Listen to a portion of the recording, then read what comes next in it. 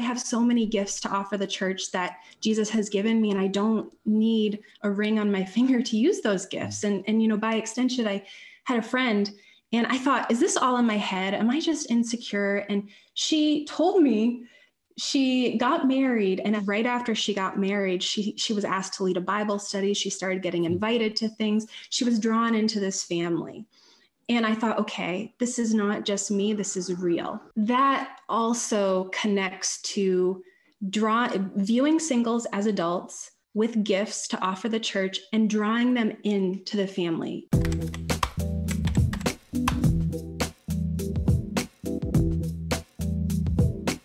Hello, and welcome to the Naked Gospel, where we explore, imagine, and re envision what it looks like to follow Jesus and to actually know his gospel, to know his gospel with our bodies, with our imaginations, and with our relationships, and particularly with our sexuality. I am your host, Shane O'Neill. Today we are joined by Hope Johnson. Hope uh, is a recent friend. She's been writing for Proven Ministries. She's a, a writer. She's um, a teacher and she's also a podcaster. Uh, we'll hear more about that, but we are having her on just to have a conversation around singleness.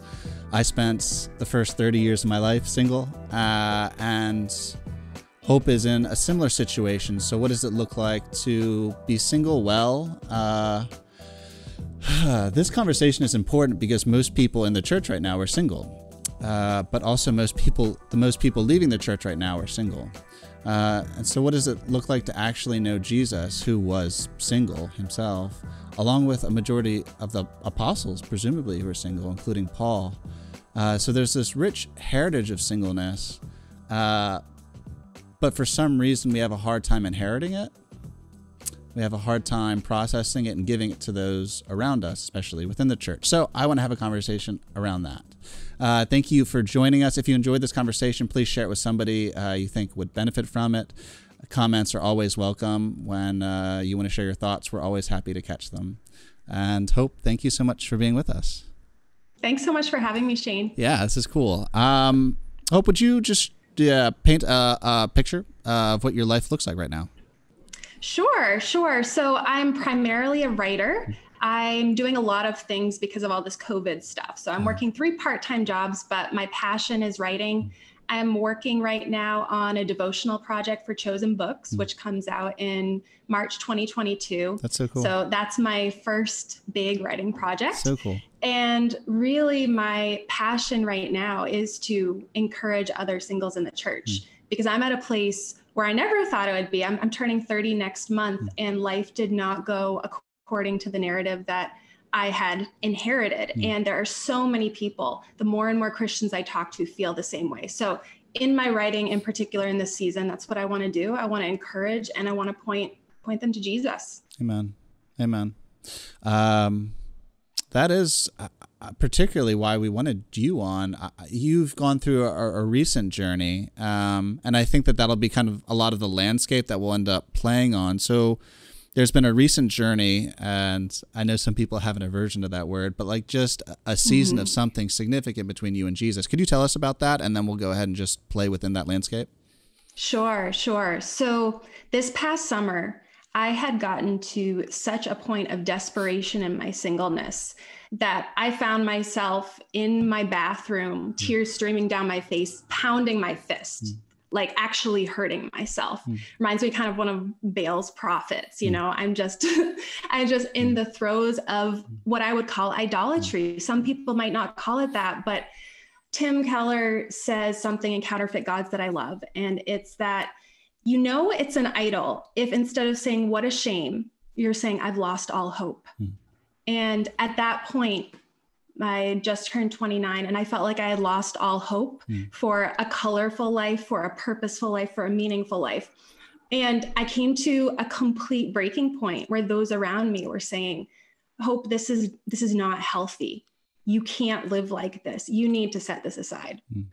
So on the advice of three wise people in my life. And they this was all separate. None of them had talked to each other about this. They said the words can you set this aside? And my best friend i've known her for 11 years she knows i tend to view things kind of black and white without nuance as i'm working on. Mm-hmm. but she said why don't you give yourself a time period? Mm-hmm. and you can call this a dating fast. Mm-hmm. and in reality it wasn't much of a dating fast because i have not dated during this pandemic since my last breakup, but my mindset has been com- complete desperation. Yes, there's a, a, difference. Sense. Yeah. There's a difference. So I made a commitment for three months. She wanted me to do six. I didn't think that I could be out of control of my life for six months. So I said, no, three. Mm. I committed to not reading any books, listening to any podcasts that had to do with dating or marriage. Mm because that was the primary mm. thing that I was feeding on, mm. even more than scripture. I would not pursue anyone's attention mm. because I had gotten in the pattern of, since I wasn't being pursued, I thought I must be doing something wrong. There must be something about me that is just inherently not enough in mm. some way. I need to work harder. So mm. I I purposed that I would not do that. And then I also purposed, which was really hard, was I wasn't going to talk with my single friends about my desire for a husband. I mm. wasn't going to talk with my single friends about how I was so frustrated that I lived in an area where there were no Christians. I was not going to orient my conversations in that direction. So mm. that's the framework of where I started out this past September. Yeah, that's incredible. Uh, I liked I liked what you said about not seeking someone's attention. I, excuse me. I found that sexual integrity. Um, I've heard it like I've heard it phrased in the context of just singleness, and now I'm engaged. and I feel like sexual integrity is actually really starting in a lot of ways because mm-hmm. all those ways that uh, that we seek attention. Uh, even even I'll notice at the gym, I'll um, catch someone's eye and then you'll know the possibility is there right and you uh-huh, can like uh-huh, create all uh-huh. sorts of uh-huh. narratives in your head yeah, and you carry on yeah. with your day like nothing ever happens but it's but it's uh it's tantalizing it's something there that mm-hmm. that you can uh, even if it's just a seed but it's a seed of of, uh, of fantasy that you can play with for the rest of the day or in that moment you can feed your hubris your pride and say like i am desired i am wanted and it's mm-hmm. just those really quick glances throughout the day and learning to kill those, which is essentially what you did. It's not so much like, oh, I'm not going to date for three months, but I'm going to kill the possibility of dating for 3 mm-hmm. months. And that's mm-hmm. altogether different. I think somebody listening to this will be like, oh, I haven't dated in three months. I've done that. Uh-huh. Uh, but that's very different than what you are saying you undertook because. I liked. I, I, mean, I'm partial to it because I titled it. But the the, the title of your your article, "The mm-hmm. Death of Options," it really mm-hmm. is killing all options for three months because we micromanage our lives and we can we exercise control mm-hmm. that way. So I love all of what you're saying. Hey family, Lent is upon us. Uh, Lent is the time when we intentionally get to feel with God. Uh, considering he went through a lot to feel with us. Uh, Lent is where we get to see the longings and the passion of Jesus and him coming to step into our world as a co sufferer uh, so he could extend compassion and empathy to us as we suffer. I spend a lot of time avoiding my emotions, my feelings, uh, with stimulation. And Lent is always good for me, always good for me. And it's it's always good news to know that there's a God who wants to feel with me as I hurt through life. Uh, so this Lent, I'm going to actually be reading this book. It's called The Proven Path by Joel Hesch. Uh, it's the story, well, it's three stories. Uh, three different guys who are struggling with lust in three different ways. And they're from different demographics. Some of them are married, some of them have different ethnic backgrounds, different ages. So I'm really looking forward to it because it allows me well, the plurality of their stories allows me to see my story and their stories. Uh, so I wanted to invite you into this reading, into reading The Proven Path with me, uh, and to, well, just engaging that parts of who we are so that we could start to prepare ourselves for Easter and for resurrection and for all that Jesus, well, really actually has for us instead of just lip service to something that we don't necessarily believe. So uh, come read this with me. It'll be in a link down below. Uh, thank you. And let's get back to the episode. I guess I'd be interested. There's something that sets you on this journey. Um, I suppose it probably had something to do with seeing Jesus differently. Um, and so, before, during, after, um, how have you started to see Jesus differently as you've been on this particular expedition with him?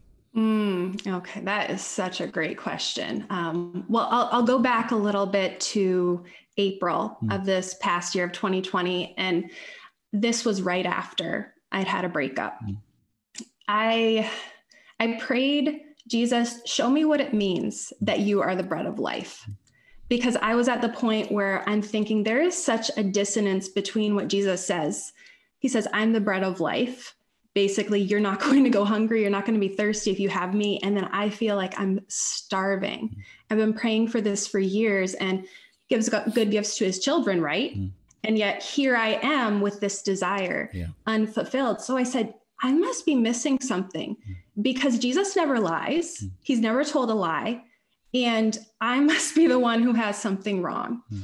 so that was my bold prayer far before I came to that breaking point in the summer was Jesus, show me what it means that you're the bread of life.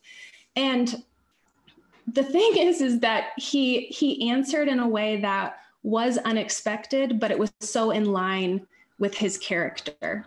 Yeah. Um, he showed me that there's a difference between being satisfied in Christ, mm. in Jesus, as you hear that phrase thrown around in the church often. I don't know if you heard this while you were single, but oh, you know, you just need to be satisfied in Christ. Yeah. So that comes across kind of like a platitude, and you're like, "Well, I'm trying. What does that mean?" Yeah. Um, it's also it's also condescending. Oh yeah. Yeah. Yeah. It doesn't feel very good. It's like, oh, so you're saying you have something I don't have and I need to know him better or I need to right. work on my holiness better. It's it's not right. very kind. No, no. And when someone says that to you, you say, you know, it feeds this narrative that says, once I'm satisfied in Christ, he's going to give me a spouse. Like I have to fake God out. Yeah. Which is ter- a terrible way of relating to him. So that's yeah. kind of where I started was God, I'm not going to try to fake you out. I know you're better than all of what I've been chasing. I want to know I want to know that at the heart level. Mm.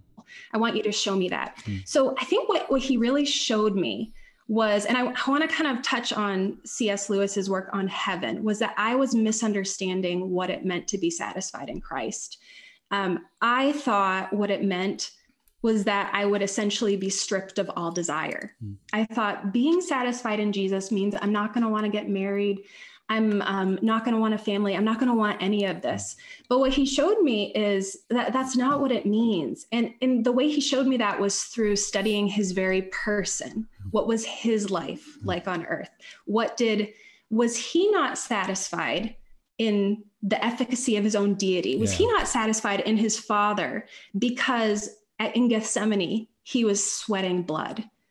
I, I wouldn't say that. I wouldn't say that because he was suffering and because he didn't have this kind of medicated type joy um, that he was not satisfied in the Father. So there's a separation between having desires and then being completely complete in Christ mm. and knowing that. Mm. So he shifted that f- from the shame. I'd been feeling so much shame that I can't. Mm I can't override this desire with love for Christ. And because I have this desire, I'm less spiritual, I'm less of a Christian. Mm.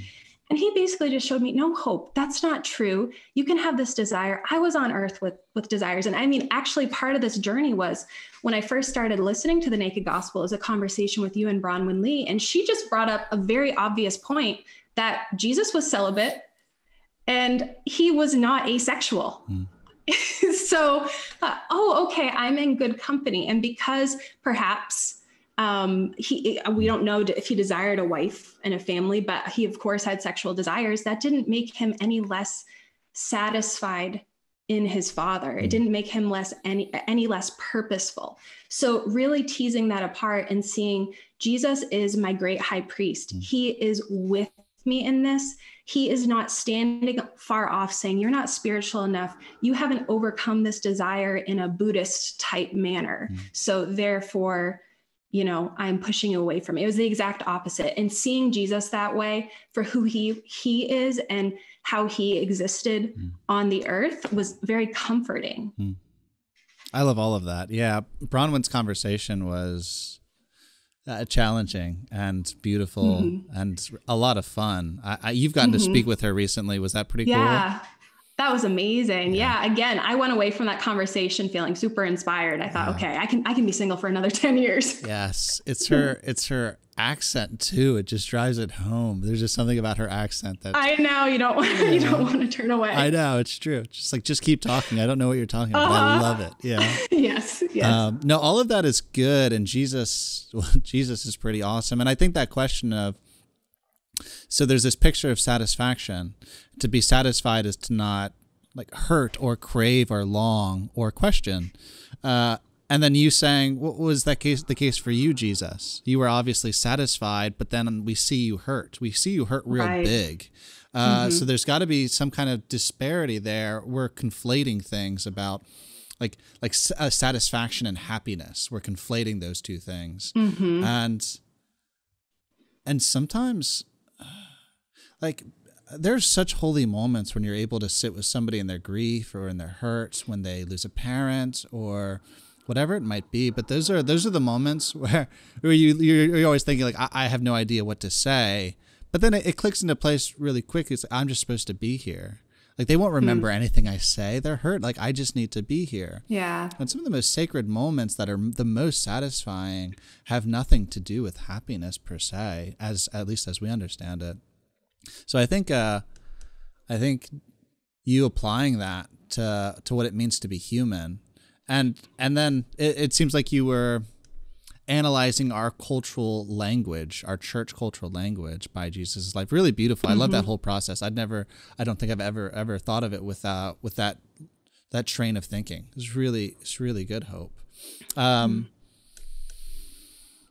okay, I I do want to know what what about So you went three months. So that's three months of dying, mm-hmm. right? Like three months of dying to options, um, yeah. dying to the possibility. Um, um, what did it look like to know Jesus during those three months? I, I asked mm. because I have this friend, uh, and she's the only person I know who rocks singleness. Like she has desires for mm-hmm. sure, but she'll have an experience and she'll get all giddy, and she'll be like, "I'm so excited to talk to God about this later." You know, or um, she'll have an experience and she just wants to process it with them. And she's like, I'm just going to run home real quick, or I got to go journal, like, I'm going to go into the woods.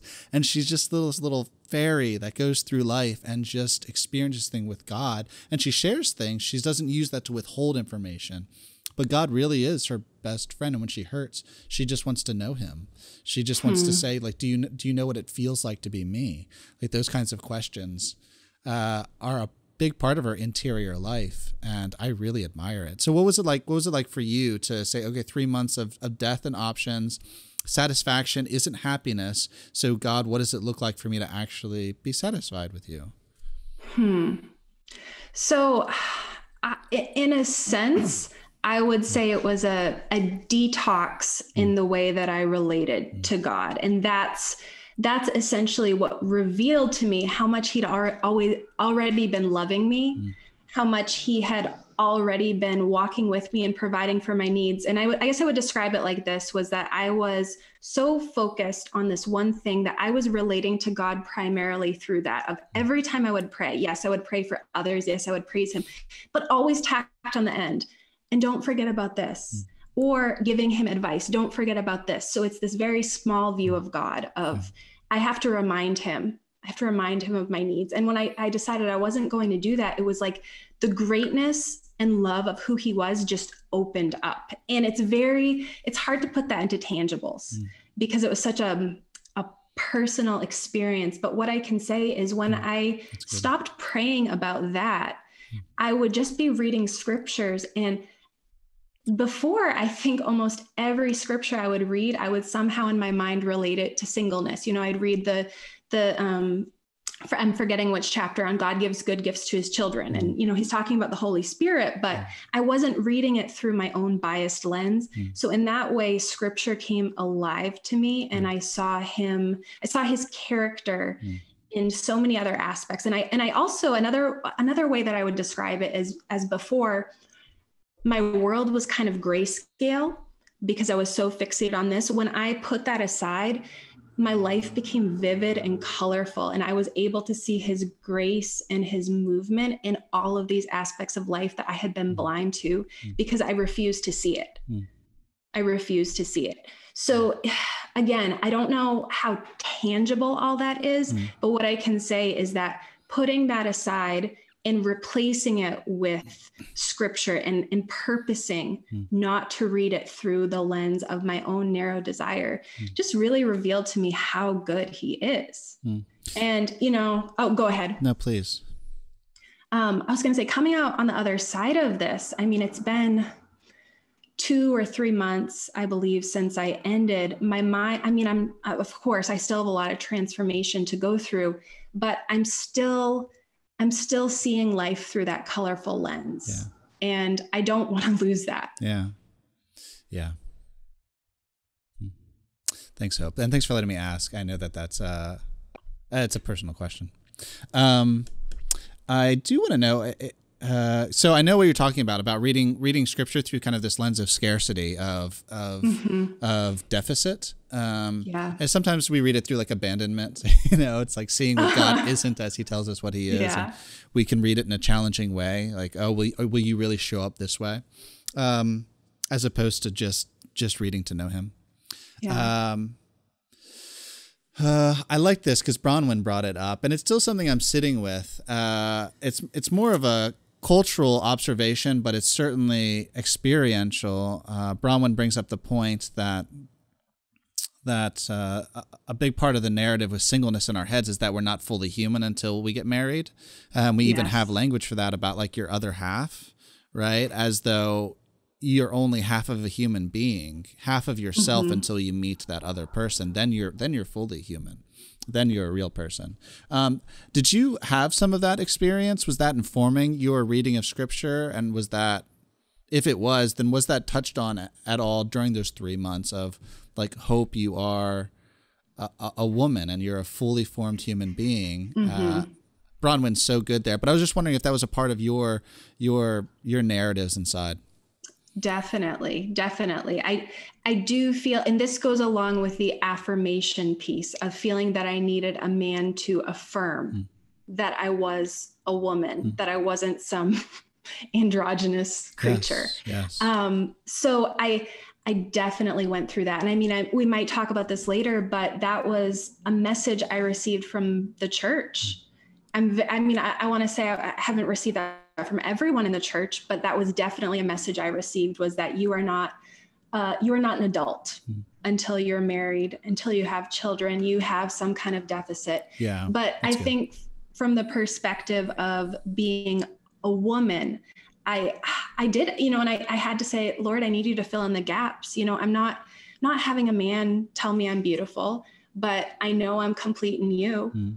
And you know, I look back even even to a relationship I was in, and I was so sure of my i don't know worthlessness but hmm. but I, I, was in this this um mode of auditioning for love that when my boyfriend would tell me he thought i was beautiful i wouldn't believe him mm. i wouldn't believe him and and that all stems from am i viewing myself as complete in christ am i viewing myself as full in christ and and yeah i mean through the three months i i think i I blossomed. Mm. You know, I can actually say I blossomed. It was it was right when I decided to do that that God started bringing all of these opportunities to me to really pursue my passion you know i had a lot of people all of a sudden reach out to me and ask me to write i mean you hmm. you reached out to me and it was very sudden it was hmm. almost exactly after i had decided to do that and i hmm. thought god's showing me like daughter i have all of this mm. for you you are not defined by being in a relationship even if you're never in a relationship mm.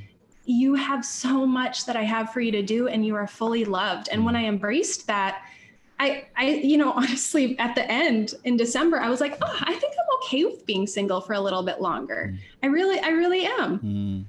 that's huge that's really yeah. cool. He gave you a new story, and yeah. and that he would. I like, I like how he goes out of his way to show us that we're valuable. You know that we yeah. mean something to him. He's he's incredible. I, I like because you said that earlier. You said um, he never does anything out, outside of outside of his character, but he is so creative. He is. Yes. He blows me away with his creativity.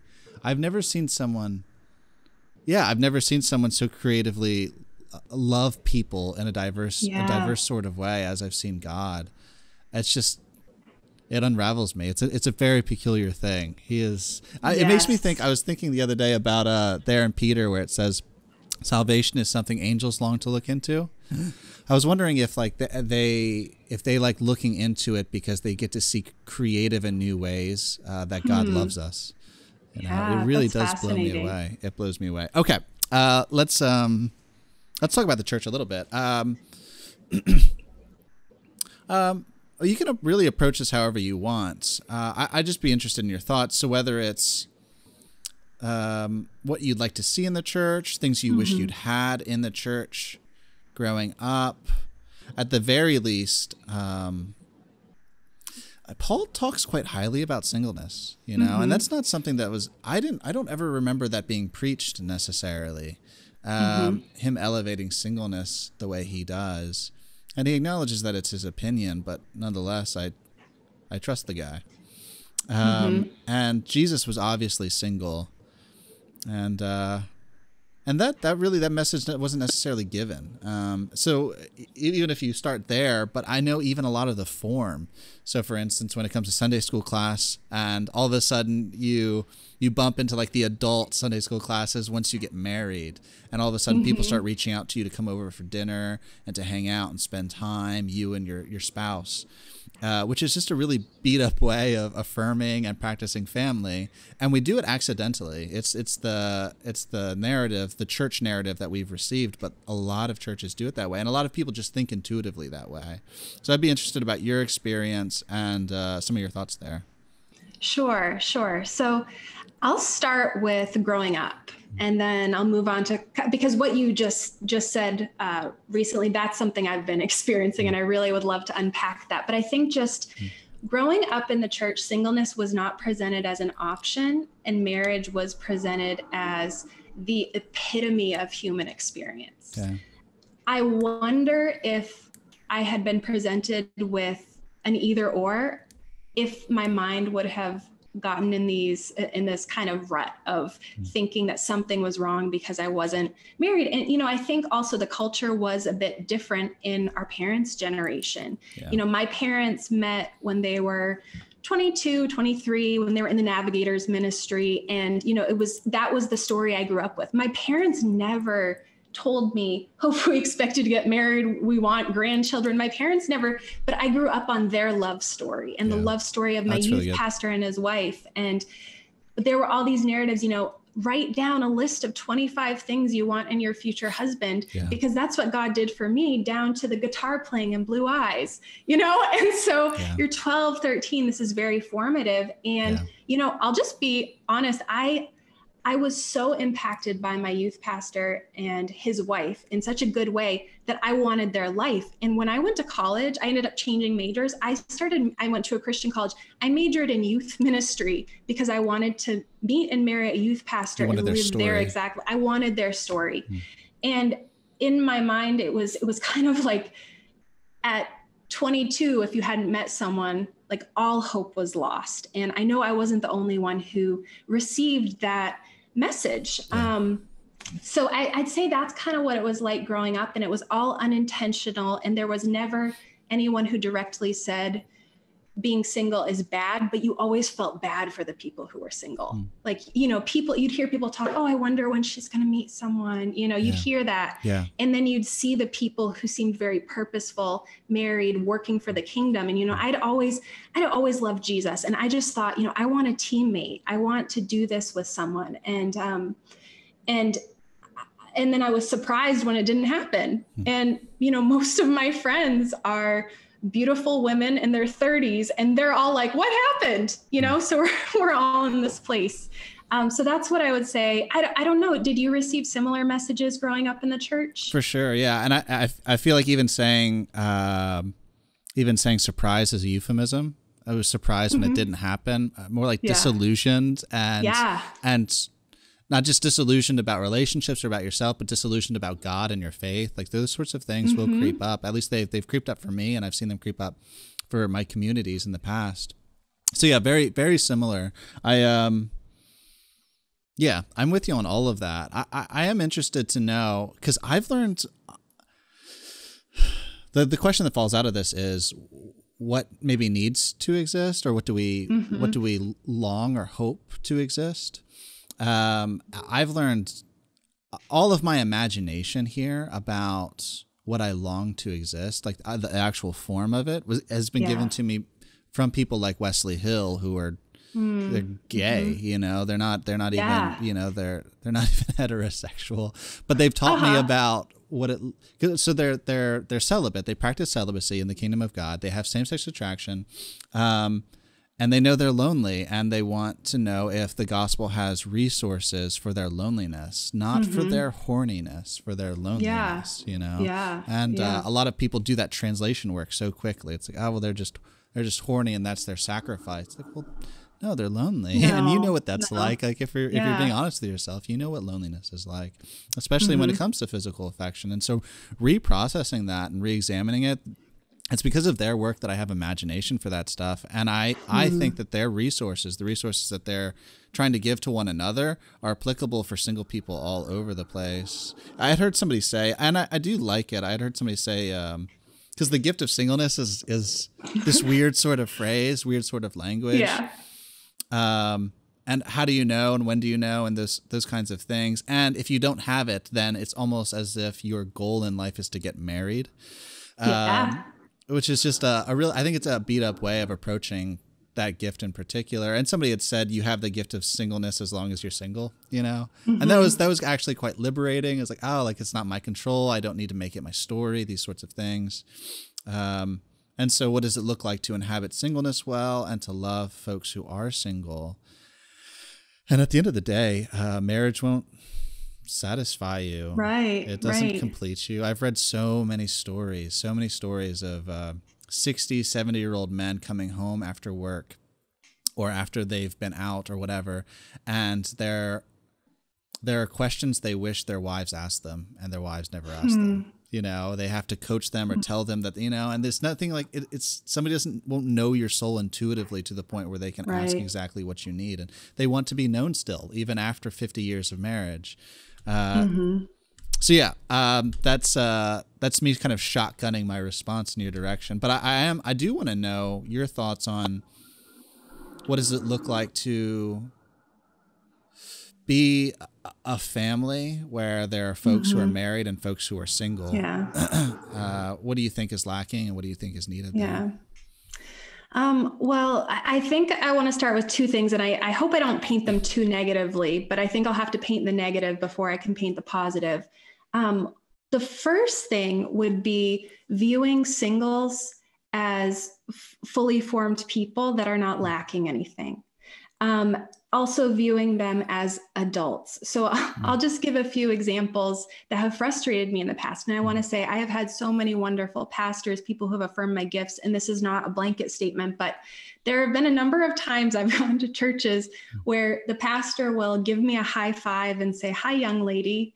And I'm like, I've never in my life been treated like that in a professional atmosphere. I I shared an office with two old men for a whole year. Mm and they always treated me mm. like I hmm. was on their level and they weren't hmm. believers. I never once felt that they talked to me condescendingly. So when a, mm. a pastor, you know, I'm like, okay, maybe they're trying to protect their marriage. I get it, but I don't need a high five. You can at least give me a handshake, you know? Yeah. So there's that sense of That's really good hope. You're not you're not an adult. And it's mm. like I have so many gifts to offer the church that Jesus has given me and I don't need a ring on my finger to use those gifts. Mm. And and you know, by extension I had a friend and I thought, is this all in my head? Am I just insecure? And she told me she got married and at the very same church right after she got married she she was asked to lead a bible study. She started getting hmm. invited to things. She was drawn into this family. And i thought okay this is not just me this is real. Hmm.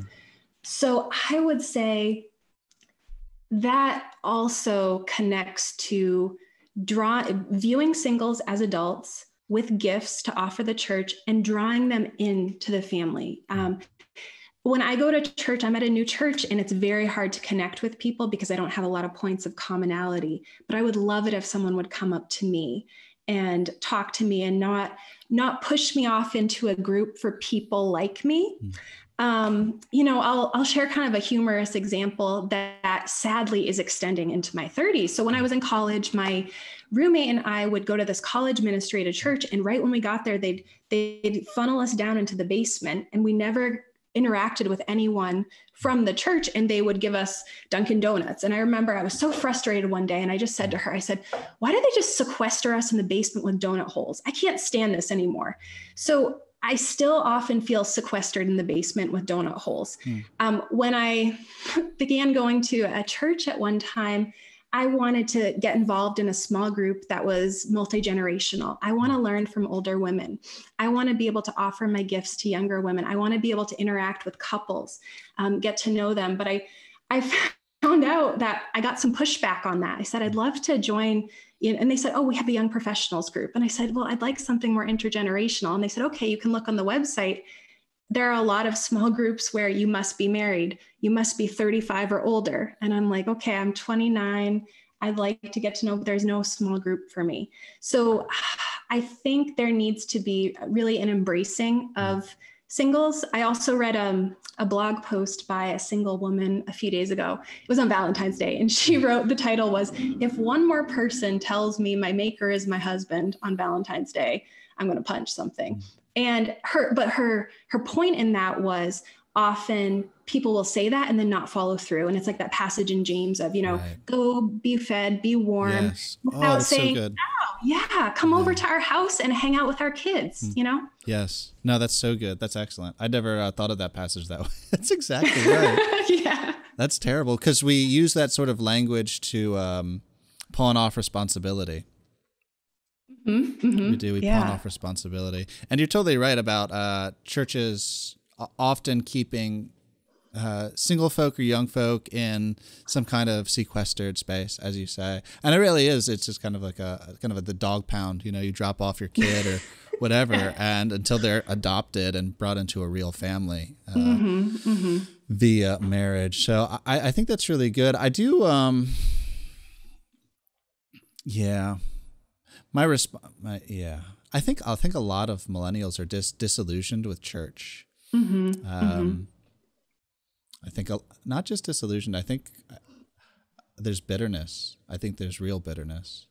Mm-hmm. Um, yeah. So sorry, my thoughts are going a lot of different directions, and I don't want to get myself in trouble either. Um, so I, I, do think that uh, I think anybody can know can know God in satisfying ways. I just think it it costs looking at your boredom and your hurt and your loneliness. Uh, mm-hmm. I think mm-hmm. that cost freaks us out. I think it freaks us out. There might be uh, there might be something that that people need to be brought into, and the idea that God can actually speak back, like God actually talks. Um, that that's that might not be known, but I think that if that's known, people seem to know intuitively that if we put down our devices for like five or 10 minutes, God will actually meet us. Like he actually will. But we're terrified of doing that because what else will meet us? What else? Mm-hmm. It'll be there. There'll be pain and hurt and abandonment and all sorts of scary, scary things. Scary voices telling us we're a disappointment and we're a failure and whatnot. And what if those voices and what if those sensations are louder and more powerful than God? Mm-hmm. What if they get us first? Right? Then, then God can't save us from them. Maybe maybe he won't. What if he doesn't? You know, mm-hmm. and those those sorts of uh, really quick thought experiments that we run through in our heads, they they keep me, they keep me uh, from ever really knowing God in I think ways that are actually meaningful. I think they're salvific ways, ways that actually have to deal with salvation. We do see salvation as kind of a one and done, and there's there's a there's a lot of truth to that. Uh, scripture uses uses salvation that way. It also uses it as a very relational process. And I, I do, I need the gospel every day. Like every day, I need to know uh, that God is for me, right? That God is mm-hmm. with me, that God loves me and cherishes me. And every day, I need to say, God, can you show me your affection and your gentleness to me? You know, mm-hmm. um, I need to be saved every day and mm-hmm. and I don't mean in some kind of big S way. Um, yeah. But I do. I, I, in any relational sense, like I need to be known every day. Just to know that mm-hmm. my parents loved me once isn't enough to know that they're mm-hmm. they're they're present to me every day. Right. And uh, but they show that they're present to me every day because when I call, they're always there. You know, they're mm-hmm. always there. Um, I don't know. Uh, I don't know if those thoughts are right. Um, do you have any uh, kind of reaction to those thoughts when it comes to when it comes to singleness and when it comes to being married? I think those things are true, and I think that if we don't know how to pursue Jesus and allow ourselves to be pursued by Jesus in stillness mm-hmm. and in quiet places, uh, then we will put a kind of a, a messianic frame on our spouse, uh, or we'll spend our whole lives running. Um, mm and I think that's just on an individualistic level. But I think that being able to articulate that has helped me say, okay, then what can we do better in community to facilitate that? How can we be mm. present to mm. each other in mm-hmm. ways that actually address hurt and loneliness? But I, it might be, it, that, that approach might be wrong. I'd just be interested in your thoughts. Hmm. Well, I think you hit on something really important when you use the word messianic frame. Hmm to describe a spouse i think we're we're definitely in danger if that is our our focus. And that does happen like you said when we are not pursuing jesus when we are not uh, when that is not our priority. Um, so i would say on a personal level yes. Mm. if i it doesn't matter how wonderful the person that I marry is if I put that messianic frame on them. Mm. Um, I'm I'm searching for my satisfaction in the wrong place, and they're never going to be able to live up to those expectations, and I'm going to be constantly hurt, and that marriage is not going to be. Um, it's not going to be as fruitful so but but that's regardless of whether you're married or you're single it's the same the same idea of fruitfulness so i totally agree with that i think mm. I think we need that privately, but you're right, we also need it corporately. Mm. And I think um, one way we could do that, and I'm, I guess I'm going back to this idea of family, is if there are people who are married or older and they're intentionally investing in the lives of their single brothers and sisters, and not just physically inviting them over, but doing those kind of check ins like, how how is your heart doing? Can we pray together? Mm. being able going beyond those superficials because even in i guess say the married community of the church there there does sometimes tend to be like a little bit of superficiality you mm. know the small talk at the small group mm. rather than like what is going on in your heart mm. so there can tend to be this facade of everything's going well yes. and church is something i do and i check it off on sunday yeah. and i have a good job um, so so yeah i think it's it's willing to be vulnerable too and like willing to take that first step and it so surprised me so many times like i'll take the step to be vulnerable and someone will say me too and i haven't mm. talked with this about anyone mm. and then there's that strength in community mm. where you can pursue the answer and pursue jesus together and see his goodness together yeah i like that that's one of the things the pursuing the okay Gosh. Okay. So pursuing the the loneliness and the hurt, while at the same time the messianic framing of this will save me. I see you engage. Like that's why I admire the three months that you did, because that mm-hmm. that was you saying, "I don't. That's not my Messiah. That yeah. the possibility of me getting married one day is not my God. Mm-hmm. It's not my Jesus. Uh, I know Jesus right now."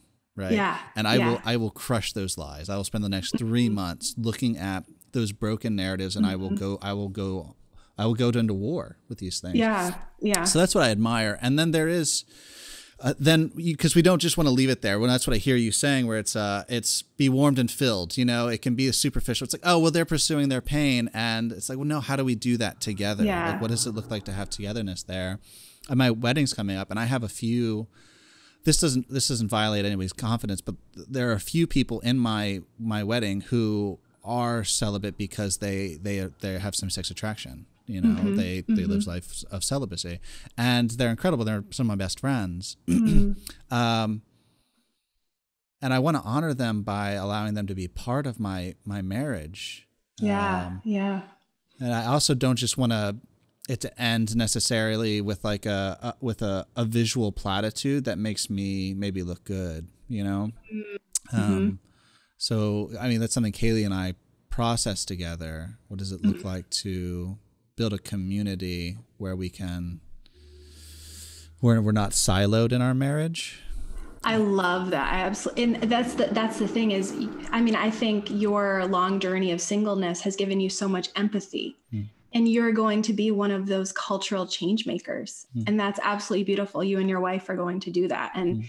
i think that's what's going to spark the change in the church mm. are those of us who have experienced the pain and yeah and and it's not just going to be on your wedding day they're standing with you. You're going to be inviting them into your life because you know the journey and you know the pain. Amen. Thank you for that hope. Mm-hmm. I, I, receive it. I do. With all my heart i do because I, I love them so so much.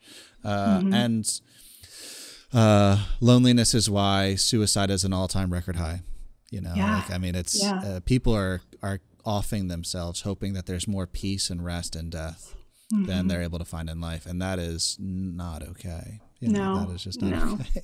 Ah uh, so sad. Okay um uh hope you're a gift. Um i don't want to end on a kind of a disparate note. Let's see.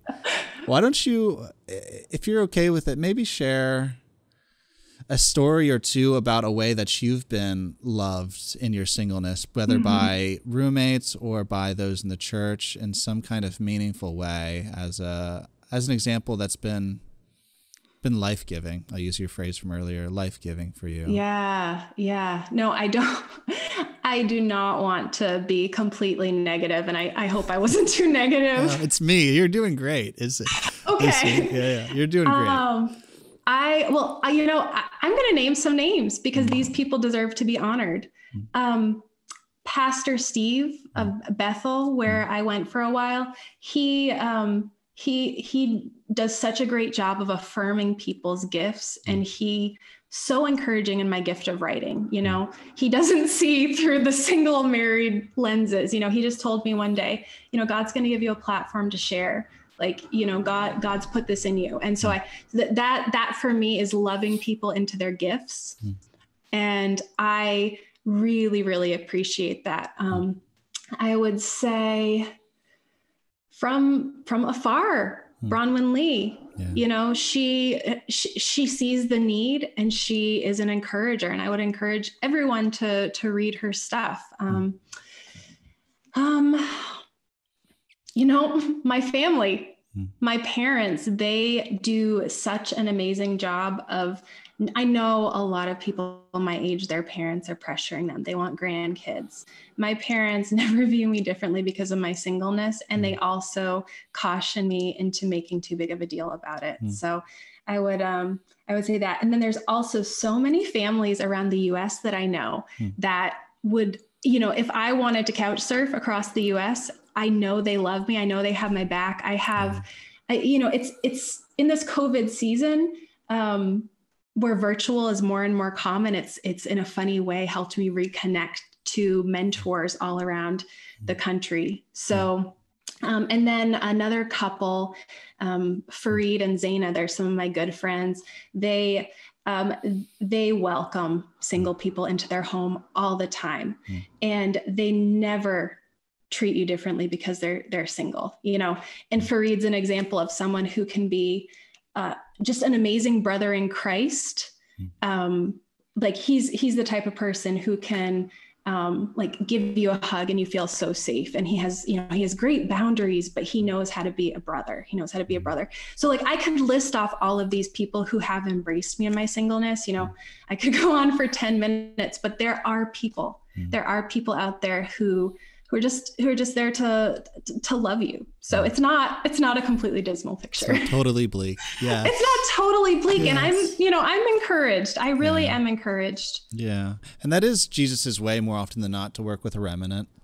Um, to work with the margins and the outliers, uh, to make his family known. And uh, yeah. And they are they're always there. They are always mm-hmm. there. You just have to you just have to look and that's it. Mm-hmm. I, I, mean, it's the same with Jesus. Those who seek find, you know, and those who ask receive, and those who mm-hmm. knock the doors open. And so Jesus, Jesus is like that, and He's always present in His family. So I, I'm with you, and I think that I mean the weightiness of a conversation like this, at least the weightiness I feel from a conversation like this, because I.